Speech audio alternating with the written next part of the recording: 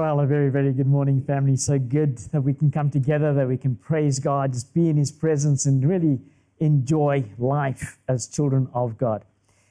We in this really, really incredible series. It's incredible to me because so many times when I when I speak to people, you know, we've got these different levels of con- conversation, and, and sometimes I'm on just level one, and I go to people and I say, "How are you?" So often people are going to say, "I'm surviving." And, and we need to move from surviving to thriving. We're in this series, and Pastor Kevin was talking about how it's important to get pride under control, that we can humble ourselves before God and just accept His grace into our lives so that we can move on the journey. And then he was also talking about how important it is for us to have purity in our lives, to just understand what God's will for us is as He gives us directions on how to live to understand that there's reason behind what He tells us to do, what He asks us to do. And if we will live in accordance with His purity, that we will experience the blessed life.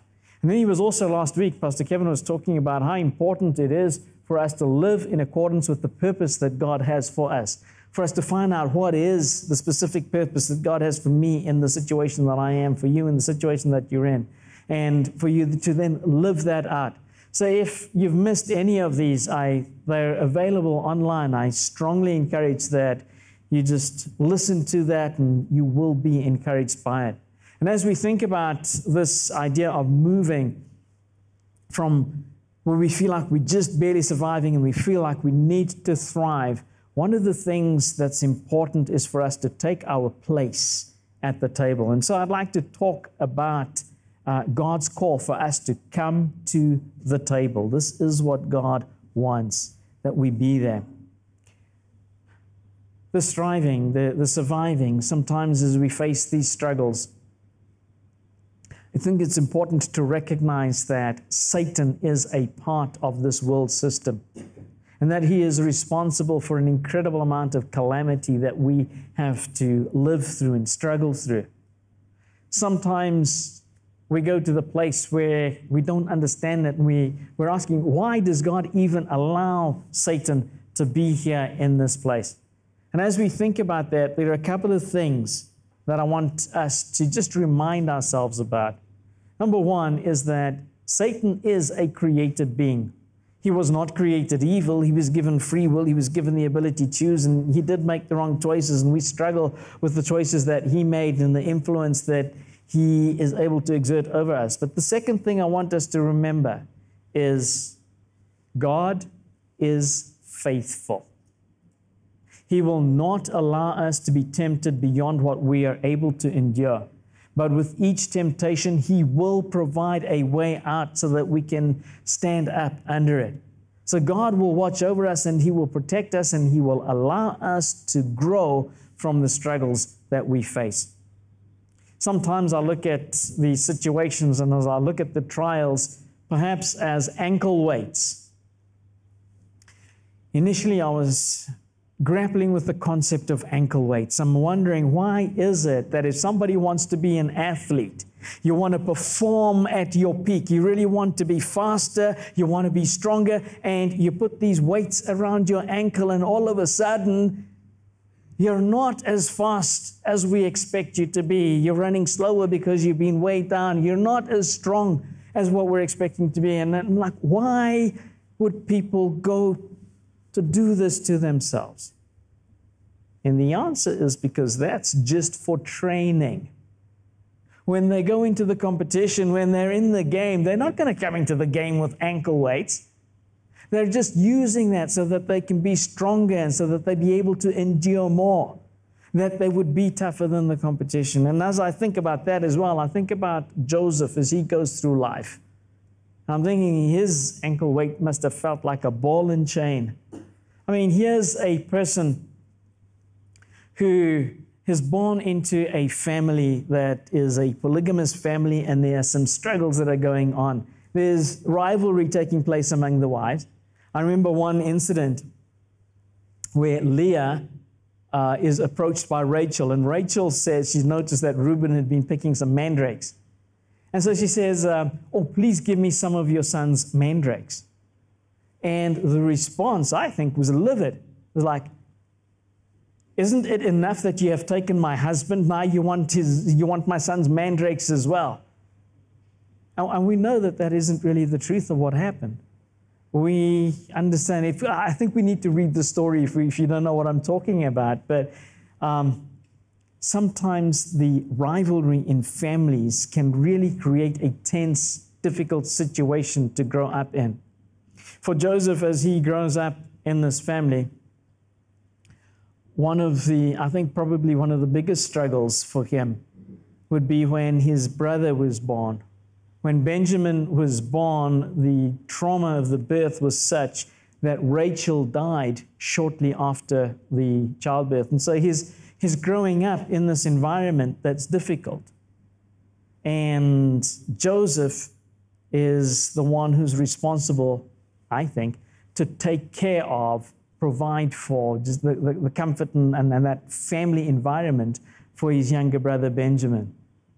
And he does. He does it really well. He, there's a bond. You can see it later on in life that the bond between them is really strong, and you admire that. But we also notice that their father, Jacob, really loved Joseph. He was born to his favorite wife after years and years of just praying and hoping for a child, and he came through. But the love, the favor of this one son over the other children in the family was actually a problem. See, when, when Jacob decided that he was going to make a multicolored coat for his son, a, a coat that he was just this one son was going to get, and the others were to look up to that and envy it, he was creating a problem in the family. And his brothers disliked him because of that. But it didn't end there.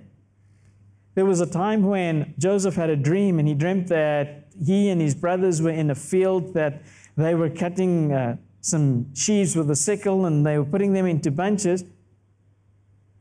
He says to his brothers, Hey, here's the dream that I had. We, we had these sheaves, and your sheaves all bowed down to my sheaf. I'm not sure what kind of reaction he thought he was going to get from that if he was thinking that they were going to say, Oh, mighty one, wonderful brother, we'll, we'll right now just bow down to you, it didn't happen. In fact, it made them dislike him even more. Well, he feels the tension and he feels the aggression, and he goes ahead and he shares the other dream. He comes to them and he says, Oh, another dream that I had. I dreamt that the sun and the moon and 11 stars bowed down to me and it didn't go down well. They hated him all the more. There was a time when their father actually asked Joseph, Go and find your brothers. They're looking after sheep. Take some food for them and check to see that everything is okay. And he went out there, he looked for them, he went to Shechem, that's where he thought uh, that they would be. Turns out that they weren't. He asked somebody where, if, if they'd been seen. He goes to Dothan. It's a distance. When he gets there, the reception that he gets is extremely hostile. They see him coming and they say to each other, Oh, here comes the dreamer.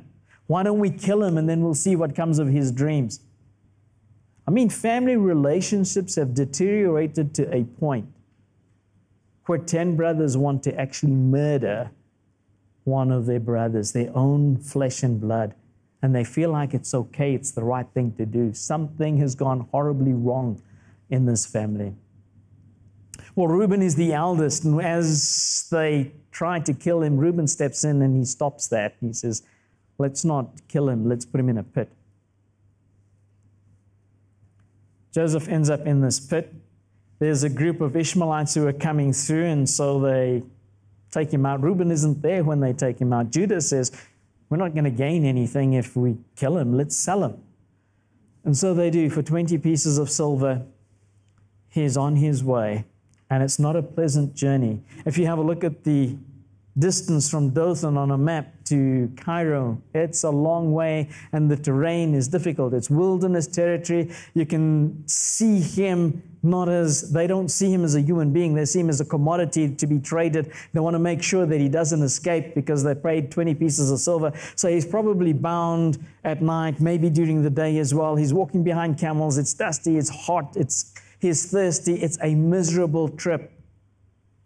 And when he gets to the end of it, he's sold. He becomes a slave.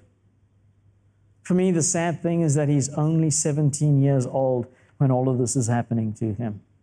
And in this place, in this life as a slave, he's from a Hebrew culture and he is in Egypt. And in those days, there was some animosity between the Hebrews and the Egyptians. We're not really sure. I'm not really sure what the reason for it is, but there's two things that the text tells us. One is that Egyptians did not like the shepherds. If you were a shepherd, and, and Joseph is from a shepherding family, shepherding background, for whatever reason, the Egyptians looked down on shepherds. But then another thing is that in those days, Egyptians would not sit at the same table as a Hebrew person. Again, I don't understand why. When I look to their common roots, I can go back to Adam and say, man, these are all descendants of Adam. We are really one people. God is our father and we're descendants of God. But even if I go back as far as Noah, Noah had three sons, Shem, Ham, and Japheth, and those are the people who populated the earth. That's where the Egyptians come from. That's where the Hebrews come from. I mean, there used to be a family. They used to work together. They used to have building projects together. They used to look after animals together. They used to go on boat trips together. It was a wonderful time, a great family life. And then all of a sudden, in a period of about 14 generations or 500 years, something has happened to where you've got this one group saying, We will not sit at the same table as that group. There's history in there. And we don't really know what is it that, that would drive people to that point to make those decisions. But we're seeing this young boy, 17 years old, coming into a situation where he is a slave, and the other slaves around him are Egyptians. I see him sitting and eating his meals alone. I see him trying to learn a language that he doesn't understand in a culture that in those days did not like him. And I feel for him. I feel like he's really struggling. It's almost like he's got nobody. He doesn't know where to turn to. He doesn't know who's going to help him, and he's struggling. I firmly believe that in that difficult situation, he turned to God. That he decided that he was going to draw near to God. And we know the principle that if you draw near to God, God will draw near to you. And I say that I firmly believe that's what he did for a couple of reasons. Number one, when he was working in Potiphar's household, everything that he touched was successful. It had the blessing of God on it to the point where Potiphar actually said to Joseph, You are in complete control over this entire household. He didn't worry himself with anything. Everything was under Joseph's control, and he was enjoying a good, prosperous life. When you go to Potiphar, when Joseph is in charge, and you ask him, How are you doing? He's not going to say, oh, oh, oh, I'm just surviving. He's going to say, No, I am thriving. I have the favor of God on my life. And the other reason that I believe that the favor of God was on Joseph's life is in the decisions that he makes. He's able to make, he does make godly decisions even under trying circumstances. So, yes, he's experienced the hostility in the family. Domestic violence would have been a part of his growing experiences. Now he comes to a place where he has to deal with accusation of sexual offenses against him. In a situation where he was tempted on a daily basis to live an immoral life, he was going back to saying, I know what God expects of me and what God is asking me to do in the situation I feel like he's turned to God, but he didn't just turn to God. He's living the life that God has called him to live. And because of that, he is experiencing the blessing of God. He is thriving because the favor of God is on his life because that's who he trusts. This is the being, the power in his life. Going to watch over him, will never leave him, will never forsake him, and and, and he is living that. He is enjoying the experience, even when he's in prison. He's in Pharaoh's prison, but the principle is still applicable there. Yes, he's struggling with confinement, but he's feeling the favor of God and he's in charge of all of the other prisoners. We don't understand that. We just know that if we ever want to move from the position of just barely surviving to the place where we're thriving, then we've got to draw close to God. We've got to live the life that God has called us to live, and we have got to, we have got to be obedient to God. Have that communion, have the fellowship. Sometimes the situations that we face are going to be trying, they're going to be difficult. It's going to be hard to make the decisions that are in front of us. We're going to be tempted to take the easy way out of some of our situations. But God is asking us to trust Him, to be faithful, to watch and see Him come through when we think that there is no way, to watch Him actually make a way. And so He invites us, He invites us to His table. God wants us to have a family relationship. In, in our own families, God wants us to thrive. We know that God wants us to thrive because when Jesus was talking about shepherding and being the good shepherd, and he was declaring himself to be the good shepherd that people had been waiting for, he says this He says, The thief comes only to steal and to kill and to destroy. But I have come that you may have life and that you may have it in abundance. God wants us to experience the good life, the joys of life. That's what He wants for us. But sometimes we look into these difficult situations and we see Joseph struggling in his situation, and we're saying, How is the good life going to come out of a difficult situation like that? We just continue watching the activity of God in his life and we get to understand that. But in our families, God wants us to have those relationships. He wants, when we're sitting at the table and we're having that family time, that we check in with each other. How are you doing? How did your day go? What were your highlights? What are the things that you're struggling with? Can we as a family give godly counsel about the situation that you're uh, experiencing, can we as a family just pray together? The, fa- the, the table is the place where we come and we spend time with each other, recognizing that God is the head of our table. I remember that my, my father used to have this expression. He used, when we come to the table, he used to say, Okay, somebody say grace. Not grace. Like, no. That's not what he meant. He wanted us to acknowledge that God provides for us. He wanted us to thank God for His goodness and the fact that we have food on our table. That we shouldn't take that for granted, but we should be grateful and live a life of gratitude. And this is what happens at the table. You come to the table and you're just experiencing that sense of goodness. I like the way that the Bible helps us to understand the beginning of the church because that family environment shouldn't be confined to your immediate family.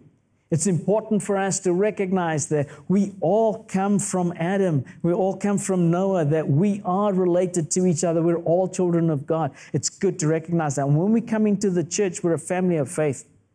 The Bible says in Acts chapter 2 that on the day of Pentecost, when the Holy Spirit came down on these believers and God was showing his power in an incredible way, where people were faced with what they had done, the sin that they'd committed in calling for the crucifixion of Jesus, that that was God's uh, Messiah, God's anointed Messiah who was crucified.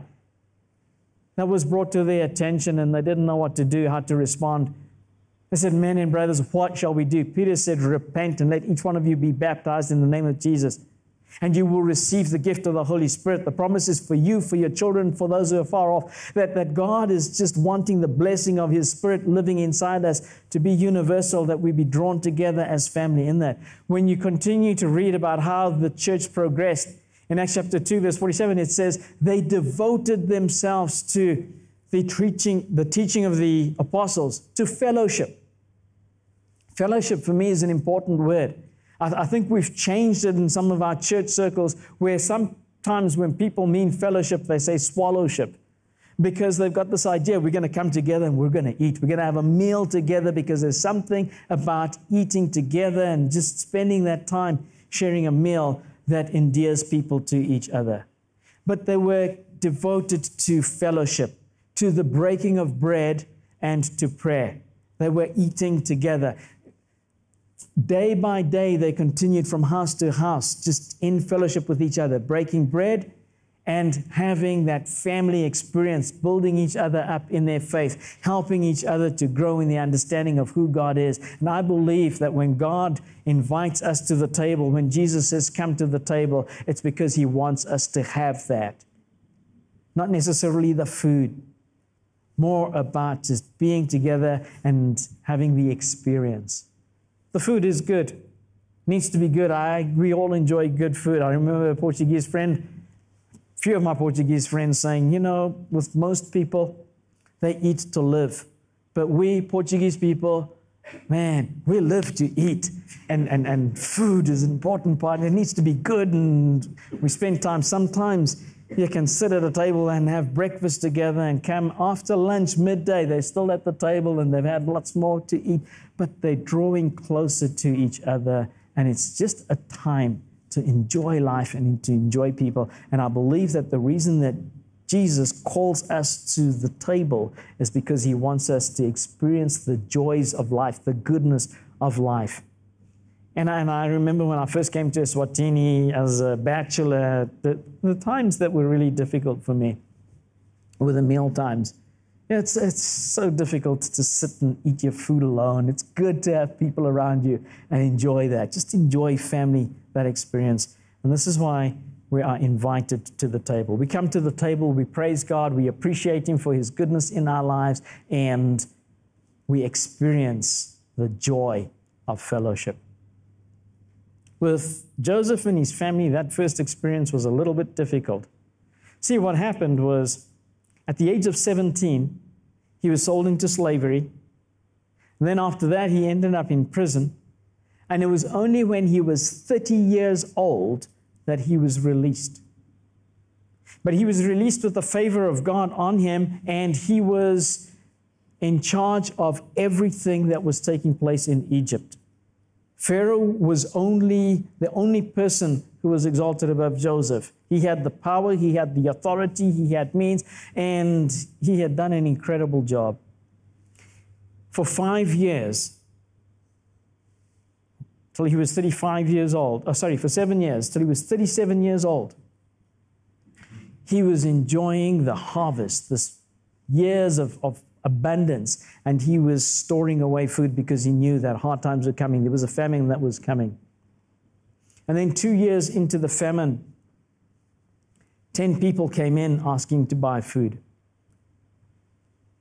And as he looked at these 10 people, they were familiar faces. Those were his brothers.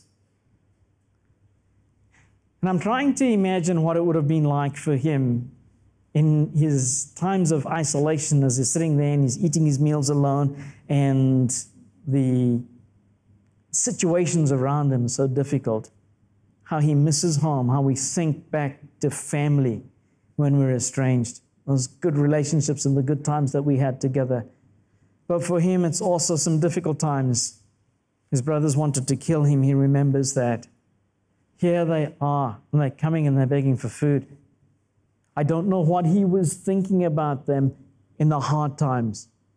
But now he's got to make up his mind about how he's going to treat them. And I don't know that it was an easy thing. I don't think it was an easy thing. Initially, he interrogates them, he, he speaks through an interpreter. They don't know who he is. And he asks them where they're from and what they're doing there, and he accuses them of being spies who have come to find out what are the weaknesses of Egypt. And they try, they, they plead their cases. That's not, they, they're all brothers, they're from one family. I wonder what it must have felt like for Joseph when his brothers say, There were 12 of us, but one of us is dead.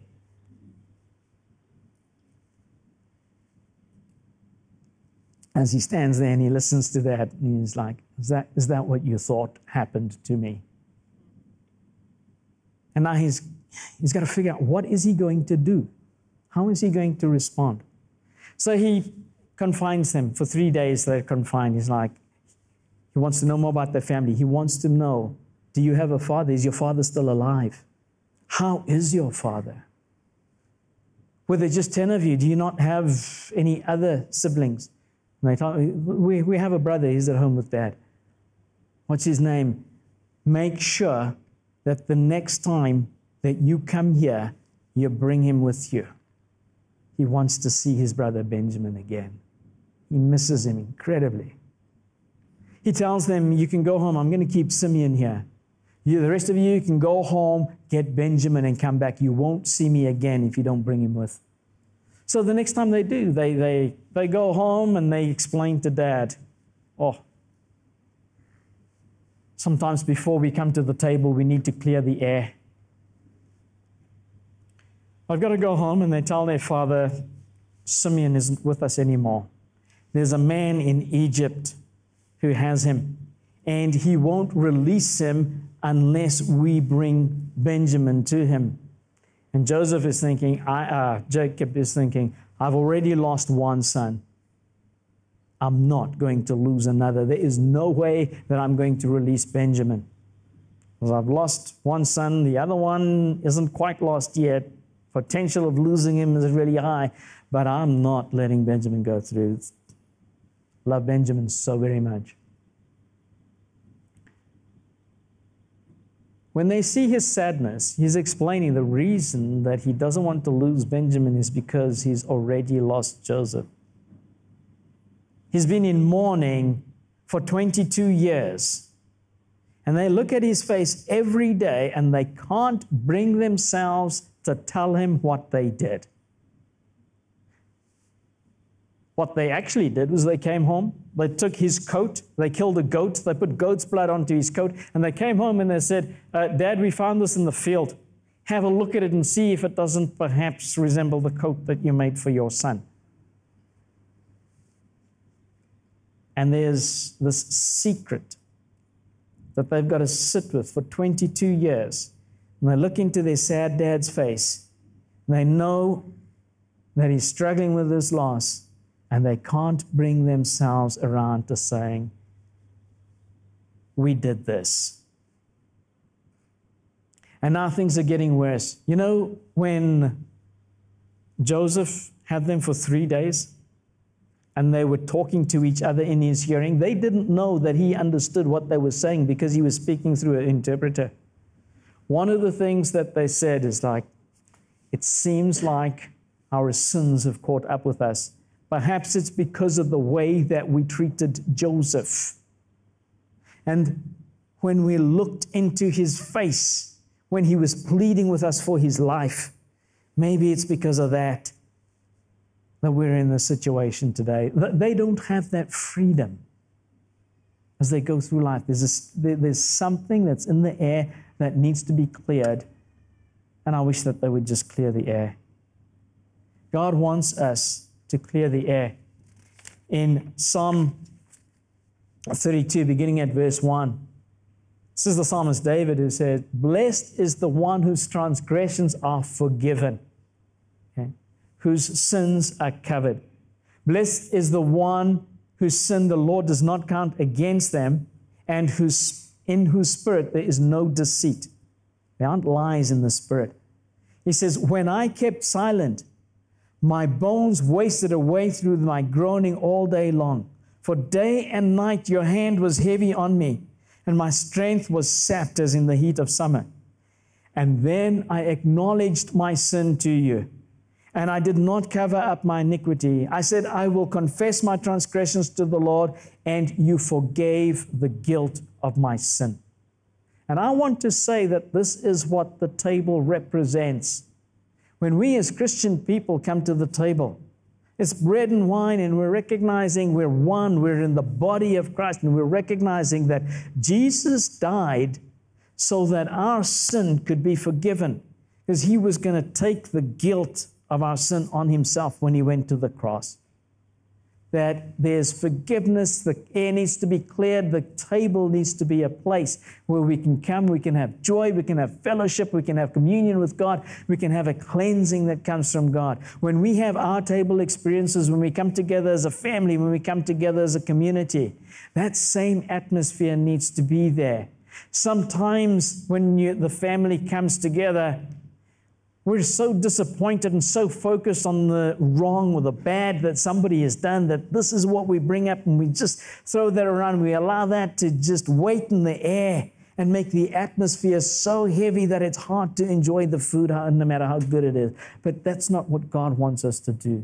God wants us to recognize that forgiveness is not just possible, but necessary in order for us to move from surviving to thriving, let's not carry those burdens of things from the past. Let's not go 500 years down the line and get to a place where we can't sit at the same table anymore, or that our descendants who don't even know the history of what went wrong are not able to sit at the same table again. This is not the heart of God. The, the kingdom of God is a banquet table that God invites all of His children to because He wants us to experience life and life in abundance. This is why He says, Come to the table. So when we come to the table, God's expectation is that we will serve in love.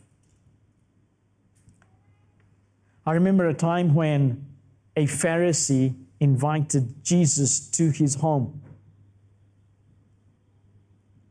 The text doesn't tell us what was the reason for the invitation and I'm not really sure. I'd like to think it's because he recognizes that Jesus is this great Messiah, the Son of God, the one that they've been waiting for, and he wants to honor him with a meal. But that's not the impression that reading the rest of the text leaves me with. Because at some point in the meal, when a lady has come in and she has washed the feet of Jesus with her tears, dried his feet with her hair, anointed his feet with expensive perfume, and people are complaining about the cost of the perfume. And the Pharisees in his company are looking at the situation and they're saying, This man cannot possibly be the Messiah of God. He is not a prophet. If he was a prophet, he would know what kind of woman is touching him. He wouldn't allow that. And then Jesus talks about how that people who are forgiven more loves more. But he also says, Simon, I want you to know this about hospitality. When I came in, you did not give me water to wash my feet. You did not give me a kiss of greeting. You did not anoint my head with oil. That was standard hospitality practices in, in the day of Jesus. And he didn't receive that. So I'm not sure that the Pharisee felt like this is the Messiah, this is the Son of God who's coming to have a meal at my table. I think he was there to grill Jesus, perhaps. But that's not the point. The point is that Jesus accepted the invitation. He wanted to be there. He felt like he could just bring some kind of teaching that you can bring a change of heart at the table. When you're having that meal together and you're enjoying good food, that's a good time to change hearts. I remember a time when the chief of tax collectors in Israel was sitting in a sycamore tree looking down on Jesus. And as Jesus stops and pays attention to him, he invites himself to that person's house. A tax collector. The people around him are surprised. How can you associate? Tax collectors are horrible people. They take your money, they take more money than they're supposed to. They take your money, they give it to the Romans that funds an army that keeps us in suppressions. Like, how can we live with people like that in our society? Jesus recognizes that at the table there will be an opportunity to bring about a change of heart, and he invites himself to that man's house. And the change of heart is very evident when he says, I'm going to give half of my possessions to the poor, and I'm going to pay back everybody that I've robbed four times what I've taken from them unduly. There's a change of heart because they had the time at the table, and the table is a good place. It's where we just let things down, where we open ourselves up, where we make ourselves vulnerable, where we confess the things that we need to confess, where we recognize family values and unity and love. And when I look at Siswati, I just love so many things about the culture in Eswatini. I love that there's only one tribe here. When I look at other places in Africa where there's so many different tribes and you see tribal rivalry, you struggle with that. When I go to the funerals, when I go to, and I've been to a number of funerals in Eswatini, it surprises me that so often you see so many of the same people there. Have you noticed that? It's like, man, it's like this country is related. Everybody is somehow connected uh, through marriage and family and blood, that, that, that we're a unit. And that's such an important and precious thing. When people who are traveling into Siswati, especially from South Africa, but all over the place, they, they almost immediately sense a peace as you come in here. And that's valuable. Peace is so valuable to God that that's what He died for. Jesus comes as the Prince of Peace to bring peace because He wants us to have peace. And it begins when we sit down together at the table and we just enjoy fellowship, we enjoy company, we enjoy love that God has intended for us. There's a passage in 1 Peter chapter 4, beginning at verse 9, where He's saying, Offer hospitality to one another without grumbling. And each one of you should use whatever gift you have received to serve others as faithful stewards of God's grace in its various forms. And if anyone speaks, they should do so as one speaking the very words of God. If anyone serves, they should do so with the strength that God provides, and in all things, God may be praised through Jesus Christ. To him be the glory and the power forever and ever. Amen. And as we listen to that, as we, we will recognize this is a call to hospitality, a call to serving each other, to using the gifting that God has given us. I want to go back to table conversation. If anyone speaks, it should be as one speaking the very words of God.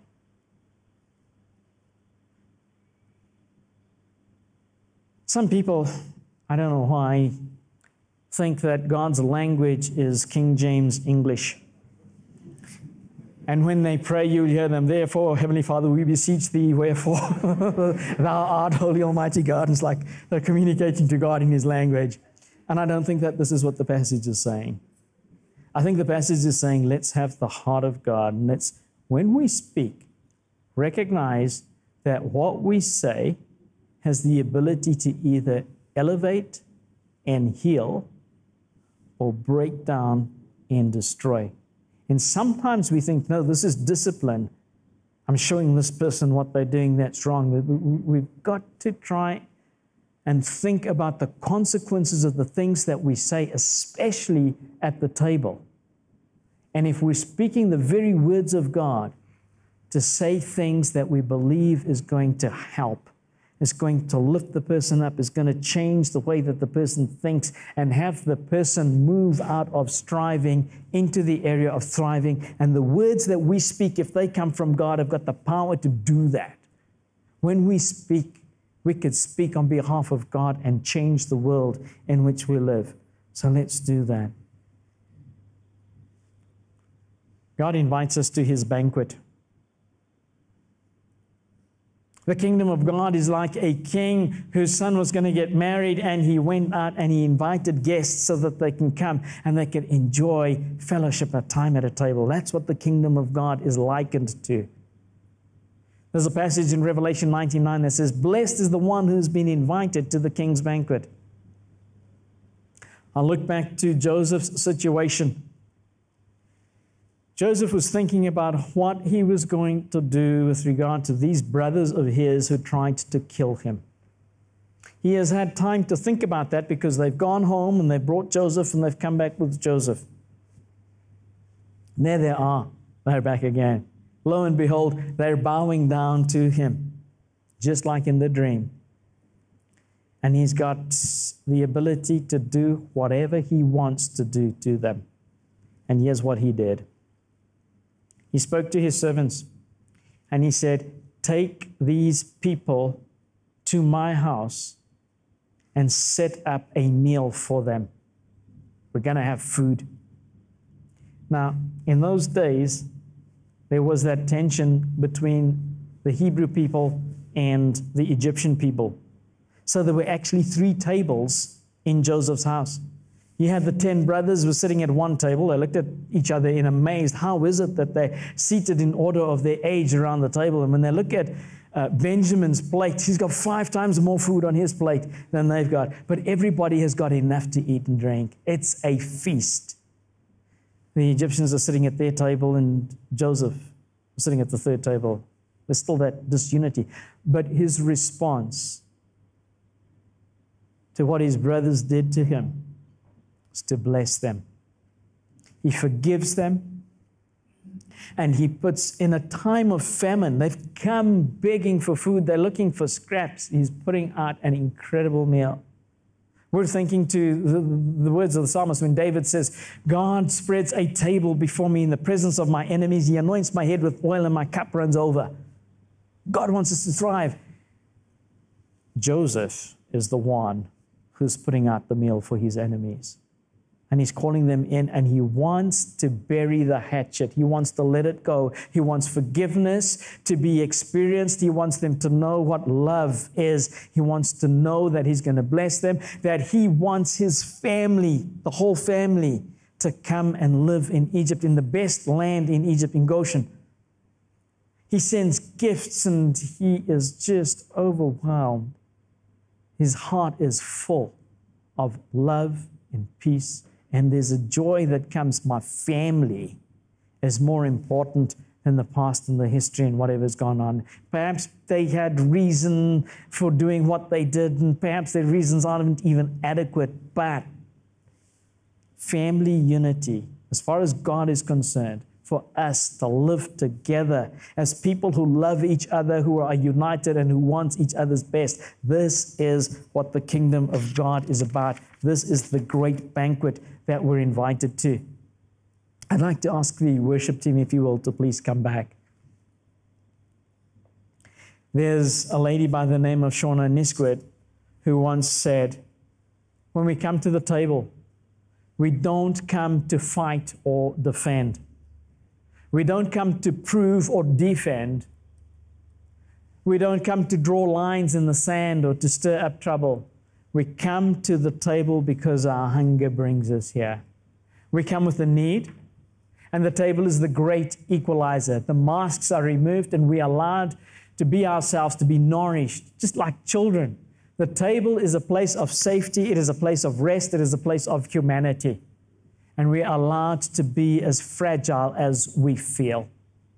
And God is inviting us come to the table, be a loving family united. Before that death, the crucifixion, when he was sitting with his disciples in the Last Supper, that's when he said, I'm giving you a new commandment. Love one another the way that I have loved you. And by this will all people know that you're my disciples if you have love for one another. And then he goes on in that mealtime, he tells them, I'm going to send you the Holy Spirit. Holy Spirit is going to be inside. He's going to change who you are, the way that you think, the way that you behave, so that you can be loving people, that you can bear much fruit. You're connected to Jesus. You're bearing the kind of fruit that Jesus wants you to bear because the Holy Spirit is in you. Sometimes we can't come to the table and we can't go through the acts of forgiving and showing mercy and all of that things because we're not led by the Spirit and it's hard for us to do. But the Spirit is something that's free, available, and easily accessible. You can receive the Holy Spirit right now, even. Can I ask that we stand up? And can I say that God is still inviting us to his table? It's not the divided table, it's the united table, one table where he's going to be the head of the table. We don't have to worry about where we're sitting so that we can be close to God because he's inside us. and we can just absolutely enjoy recognizing that it was at the cross that this was made possible. The death of Jesus is about bringing two hostile groups together. He comes as peace to bring peace so that we can enjoy peace. And I pray that as you spend time in communion with Jesus and fellowship at the table, that the strive or the surviving and that struggle that we're experiencing in life will just go away, that we will thrive and that the blessing of the presence of God will be on your life. I pray for you that everything that you touch will just have God's favor on it. And that people will recognize God is with you because you've come to his table and you've come with his attitude. God bless you as you come to the table.